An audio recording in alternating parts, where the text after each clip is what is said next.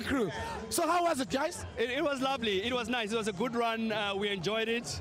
Um, it got tougher right at the end. The last 10 Ks or so were a bit hard, but we made it. The, the, the whole objective is to get sub 12. We did it, we made it, but it was not easy. By the way, I saw you guys at uh, yes, Yes. and you guys had coffee with me, and you said you still well within time. How was it?